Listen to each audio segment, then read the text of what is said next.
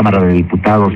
El Senado de la República avaló anoche la reforma constitucional en materia energética.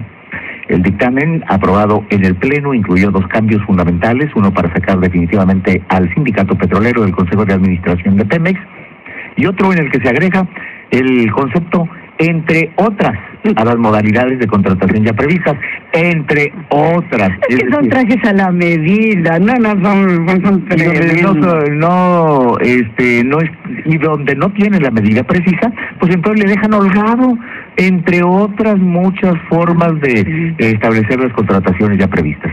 Bueno, fíjese usted que el cambio de los artículos 25, 27 y 28 de la Constitución fue aprobado por 95 votos a favor de los senadores del PRI, PAN, P, eh, Verde Ecologista, Partido Verde Ecologista de México, y 28 en contra del bloque del PRD, PT y MC, el Movimiento Ciudadano, además de dos panistas, dos panistas, dos panistas que votaron en contra de la reforma, que son nada más y nada menos que Javier Corral Jurado y Ernesto Rufo Apé. Nosotros hemos tenido las opiniones de, Ernesto. Así es, el día de ayer. Y yo estuve oyendo con mucha atención lo que dice Javier, muy probablemente lo tendremos también, porque lo que dijo fue sumamente interesante y creo que demostró una vez más, pues, de qué está hecho. Así es. Eh, exactamente, bueno, eh, fueron los dos votos eh, blanquiazules eh, precisamente en contra de la reforma. Mire, la reforma permite que empresas privadas participen en el sector energético eh, a través de los contratos de servicios que el Estado pagará con efectivo, dinerito constante y sonante de utilidad compartida, en que el Estado compartirá un porcentaje de la utilidad, de producción compartida, que el Estado repartirá con la empresa un porcentaje de la producción obtenida. Bueno, y contratos de licencia con la transmisión onerosa de los hidrocarburos, en que la empresa tendrá que pagar por el producto una vez que hayan sido extraídos del subsuelo. Ah, pero no se privatiza. Es nuestro, nuestro, nuestro, nuestro. Para que todo el mundo esté contento.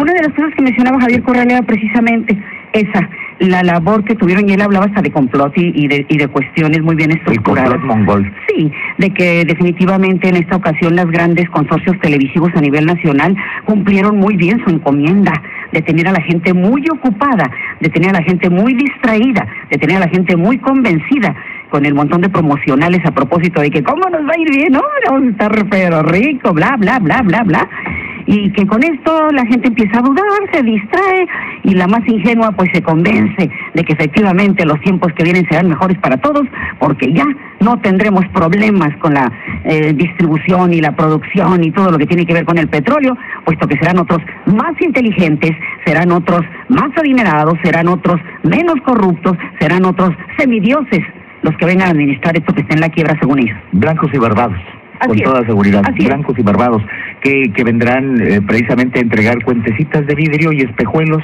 por pepitas de oro y por las minas de plata. y en este caso, eh, por los veneros de petróleo que nos escrituró el diablo. Exactamente, con el tiempo de la conquista te traigo espejitos y, y me llevo el oro. Igualito, pero pero ahora, ya con todo el conocimiento de causa de que un solo grupo se beneficiará, se quedará ahí muy a gusto, ya no tendrán que aumentar impuestos, o a pesar de eso le seguirán. No, seguirán, seguirán. Sí, sí, sí, van a seguir aumentando los impuestos, eso que ni duda cabe. Y mire, eh, ya desengáñese, eh, por favor, porque ya de todas maneras el despertar ya empezó, porque ya la reforma se votó. Entonces, eh, ya desengáñese, mire, no va a bajar la gasolina, eh, no va a bajar los combustibles, tampoco le van a bajar la, electricidad. Eso nada más fueron no, No se van a generar los empleos que dicen. Tampoco, al contrario, se va a producir el desempleo. Y a propósito, no va a tener usted que reclamarle, porque todos los que lo promovieron ahorita, para entonces van a estar, quién sabe dónde. Esfumados. Esfumados. Pues mire, alrededor de 30 diputados del PRD, Movimiento Ciudadano y PT tomaron esta tarde la tribuna del Palacio Legislativo de San Lázaro y clausuraron los accesos al salón de sesiones para impedir la discusión y votación de la reforma energética entre otros los legisladores periodistas Alejandro Sánchez Camacho, Marta Lucía Micher, eh, Lisbeth eh, Rosas y Javier Orihuela, así como Luisa María Alcalde del Movimiento Ciudadano y Loreta Ortiz del Partido del Trabajo, irrumpieron en el recinto y obligaron a los pocos diputados del PRI y del PAN eh, presentes en ese momento a salir del lugar. En un mensaje transmitido en vivo, eh, los legisladores inconformes advirtieron que permanecerán en la tribuna hasta que los órganos directivos de la Cámara de Diputados se comprometan a respetar los procedimientos legislativos. Esto en referencia al presunto acuerdo suscrito por las bancadas del PRI, PAN y Partido Verde para dispensarle todos los trámites a la minuta senatorial de la reforma energética y votarla este mismo miércoles. Bueno, pues siguen siguen eh, precisamente las eh, controversias allá en la Ciudad de México, en la Cámara de Senadores. Oye, y, y de pronto los aliados o los cómplices o compinches, a propósito de quienes han estado en Pemex y que de este momento está al frente del, del sindicato de Pemex, ¿verdad? Una de adhesiones. ¡Ay, tan bonito de chances! Eh, Romero. Romero de Champs. Romero de Champs. Eh, qué barbaridad de todas las adhesiones del mundo para el gran líder, para el gran eh, legislador, para el gran mexicano, para el... Ufa, ufa. Dices tú, no, pues sí, entre, entre los mismos te veas. Así es, eh, esa es la, la, la situación. Mm, Aquí estamos viendo y revisando algunas eh, algunas eh, fotografías de, de lo que está pasando, que nos están llegando eh, vía internet de lo que está pasando por ahí en la Cámara de Diputados. Ayer estabas indignado y hoy estás Sí. triste. Hoy Sí, sí, yo te noto como que, bueno, pues ya, va lo dado, yo no- pero fíjate muy bien, fíjate bien que queda otra vez la expropiación, fíjate bien que queda todavía la situación de, de revocar no sé cómo, aunque esa famosa consulta cuando me ponen a mí las condiciones, digo, que qué bonitos, necesitas 30 millones de gentes para promover una consulta Sí. popular y un montón de mecanismos que hacen imposible este instrumento. Ayer cuando estaban en la, en la Cámara, mientras unos gritaban, consulta popular, los otros, México, México, y ya, ya, ya, cada quien con lo suyo casado. El discurso de una de las chicas del Partido Verde Ecologista me arrancó lágrimas, estaba hablando de por qué votó por esa, o por qué votaba su partido. ¿Una? Eh, una del Verde, una Sí. joven, ¿verdad? Hablando así en términos de, de belleza, de amor, de, ay, bueno, me conmovió, ¿verdad?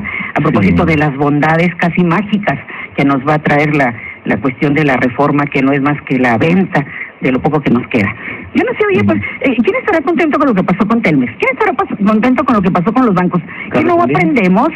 Pues claro, Bueno, Carlos en el, en el caso de Telmex eh, está contento Carlos Slim y está ¿Y Carlos contento, Salinas? ¿Y todos los eh, demás? claro, eh, y todos los CS. Carlos Salinas, Carlos Slim, eh, CS. Y, y desde luego que está contento eh, las transnacionales de las telecomunicaciones. Quién se benefició de, de nosotros, de los CC. ¿Cómo somos ciudadanos CC? De los triple C. de los eh, comunes. Y en la banca no digas, compramos caro, vendimos barato, rematamos y ahora los, españ- endeudados y- como y los 800 mil millones. españoles sonrientes siguiéndonos explotando como antaño. No, no, no somos una chulada de país, pero no el país, Sí. la clase política. Sí, la, la clase política exactamente la que está en la directiva y que es a final de cuentas quien decide, manipula, miente, tergiversa y levanta la mano. Sí. Y levanta viven como rey, agrégale. Porque si- si nomás hicieran eso, serían inocuos. Pero no, ¿no? Aparte de que de, de fregarnos a todos, pues de pronto eh, no son lo de lo más voraces. Entre más llegan al de abajo, más quieren y más quieren y páralos. Sí, eh, Gamboa, Gamboa, Gamboa patrón, eh, dice que la reforma energética va a traer sin duda alguna beneficio a los mexicanos, así como lo ofreció el presidente Enrique Peña Nieto, según lo dijo el senador. Exactamente así la traerá la eh, el beneficio. El senador priista Emilio Gamboa consideró que en dos años, en dos años podrían verse los beneficios de la reforma energética, como la disminución de tarifas, ay, otra vez, Ah, la disminución de tarifas de electricidad y gas para ser más competitivos y que llegue a las casas de los más necesitados. Ay, me conmueve. Me conmueve Bueno. ¿nos vamos a una pausa? Sí, nos vamos a una pausa, ya basta, basta. Una pausa y enseguida volvemos.